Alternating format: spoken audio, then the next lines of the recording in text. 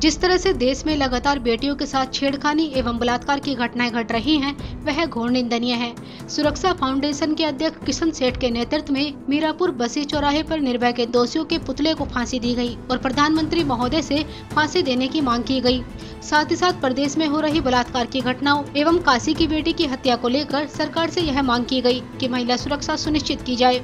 काशी की बेटी को इंसाफ और हत्यारों को जल्द से जल्द गिरफ़्तार किया जाए। इस दौरान कार्यक्रम में रमेश यादव, कंचन लता, राजू राज यादव, अंकुर यादव आदि लोग उपस्थित रहे। कार्यक्रम का संचालन किशन कुमार सेठ, अध्यक्ष, सामाजिक संस्था सुरक्षा फाउंडेशन ने किया।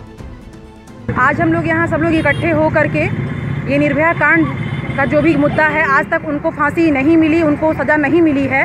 हम लोग चाहते हैं कि उनको सज़ा मिले उनको एकदम बीच चौराहे पे फांसी दे दी जाए ताकि जो उनके बाद एक के ए, एक जो सिलसिले शुरू हुए हैं इन सिलसिलों का अंत हो क्योंकि शुरुआत वहाँ से हुई तो अंत भी वहीं से शुरू होना चाहिए। ये सिलसिले ऐसे नहीं बंद होंगे।